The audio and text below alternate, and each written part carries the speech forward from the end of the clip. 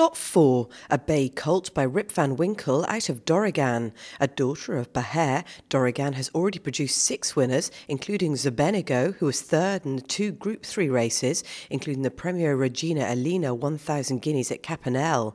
This is also the family of the Group Place Picket and the English champion older stayer and sire Sadeem, who won the Group 1 Ascot Gold Cup twice. Lot 4, a bay colt by Rip Van Winkle, out of Dorrigan, consigned by Mocklers Hill.